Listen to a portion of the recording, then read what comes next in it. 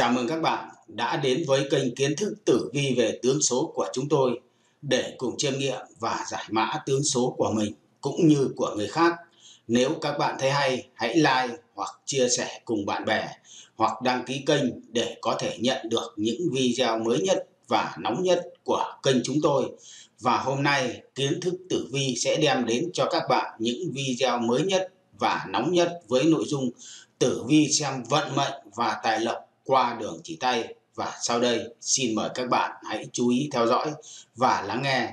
Chúc các bạn xem video vui vẻ và những giây phút thư giãn nhất. Những người mà có đường chỉ tay như thế này thì đảm bảo suốt đời sống trong nhung lụa và bạn muốn biết liệu mình có kiếm được nhiều tiền và có cuộc sống giàu sang phú quý hay không, thì các bạn hãy cùng kiến thức tử vi đi tìm hiểu xem những đường chỉ tay nói gì về tài lộc của bạn nhé. Thứ nhất là về đường tài lộc.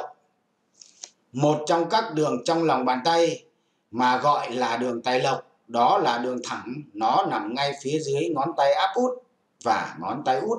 Nếu có nhiều đường tài lộc và các đường đều thẳng, đậm và rõ nét thì chắc chắn bạn là một người thông minh và giỏi đầu tư và chắc chắn sẽ kiếm được bộn tiền Thêm vào đó, bạn luôn có quý nhân phù trợ. Còn nếu đường công danh sự nghiệp của bạn cũng thẳng và rõ nét thì bạn sẽ đạt được cả tiền lẫn tài danh vọng trong cuộc sống. Về đường tài lộc mà gợn sóng thì đây chứng tỏ vận may về tiền bạc của bạn không chắc chắn.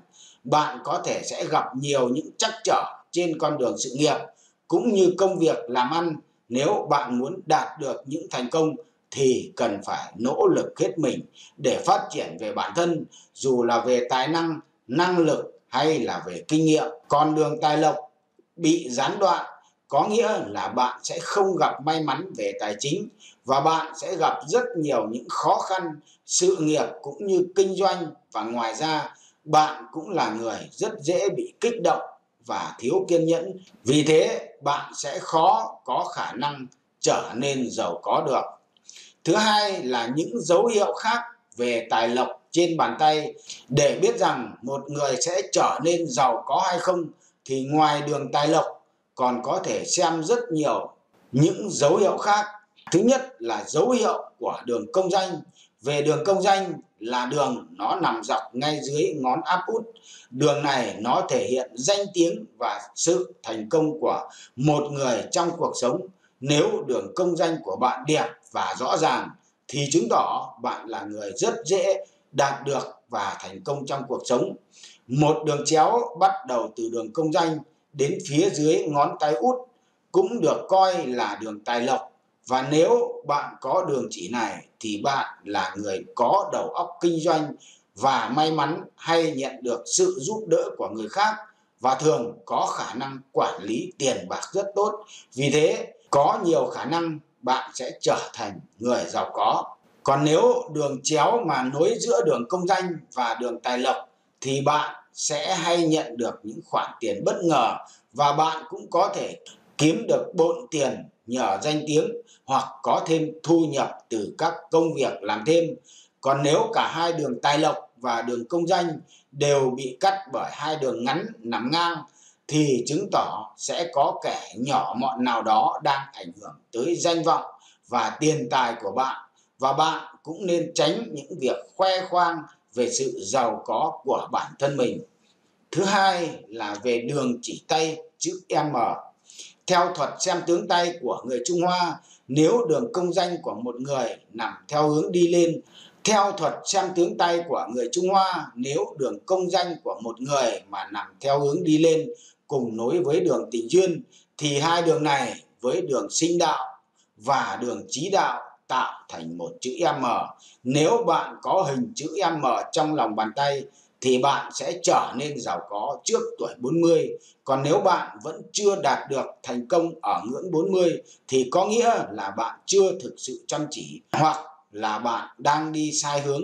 Còn về màu sắc trong lòng bàn tay, nhìn chung nếu lòng bàn tay của bạn trắng trẻo thì bạn sẽ dễ cưới được một người giàu có và tận hưởng một cuộc sống xa hoa. Còn nếu lòng bàn tay của bạn quá hồng hào thì bạn sẽ gặp khó khăn trong việc kiếm tiền. Lòng bàn tay ngăm ngăm, còn lòng bàn tay của bạn nếu có màu da ngăm thì cho thấy bạn ít có cơ hội kết hôn với người giàu có. Còn một vài chấm đỏ trong lòng bàn tay, đó cũng là những dấu hiệu tốt về tài lộc. Nếu bạn có những chấm đỏ này thì có nghĩa là bạn sẽ tự tay mình, gây dựng nên cơ nghiệp và bạn là một người kinh doanh rất giỏi. Còn về lòng bàn tay mà mũm mĩm theo thuật xem tướng tay của người Trung Hoa có một người có lòng bàn tay mềm mại và mũm mĩm thì sẽ được sống trong cuộc sống giàu sang phú quý và rất được trọng vọng. Ngược lại, nếu lòng bàn tay của bạn gầy, thô ráp thì người đó sẽ không có duyên với tiền tài và gần như không có khả năng cưới được người giàu có. Ba là đường quản lý tiền bạc. Trong lòng bàn tay thường có một đường ngang ở phía trên và song song với đường tình duyên. Đường này cho thấy khả năng quản lý tiền bạc của một người. Nếu có đường này, có độ dài trung bình thì bạn sẽ là người sử dụng tiền rất khôn ngoan và biết cách chăm sóc người khác. Thậm chí kể cả khi bạn không làm việc thì vợ hoặc chồng của bạn cũng đủ khả năng để chu cấp cho bạn và bạn có thể giúp cho bạn đời quản lý tiền bạc rất tốt. 4 là về đường hôn nhân. Nếu đường hôn nhân của bạn mà hướng lên phía ngón áp út và có một ngôi sao ở cuối thì bạn sẽ cưới được một người giàu có hoặc là người có danh tiếng. Vì thế, bạn cũng chẳng bao giờ phải lăn tăn về mặt tài chính cả. Năm là đường trí tuệ có một nhánh đi lên nếu đường trí tuệ của bạn mà có một nhánh đi lên thì điều này có nghĩa là bạn rất có năng lực trong việc kiếm tiền và bạn có tư duy tốt, ham muốn kiếm tiền và biết cách sử dụng đúng cách, bạn có thể đánh giá tương đối và chính xác khả năng thành công của một doanh nghiệp. Vì thế nếu tỷ lệ thành công thấp thì bạn chắc chắn sẽ không đầu tư vào nó và bạn cũng thường gặp may mắn trong những trò cá cược may rủi Thứ sáu là các gò trong lòng bàn tay. Nếu các gò nằm dưới và ở giữa ngón tay trỏ và ngón tay giữa, ngón giữa và ngón áp út hoặc ngón út đều đầy đặn thì chứng tỏ bạn sẽ gặp may mắn trong việc kiếm tiền và bạn là người biết làm thế nào để kiếm được nhiều tiền một cách đơn giản nhất.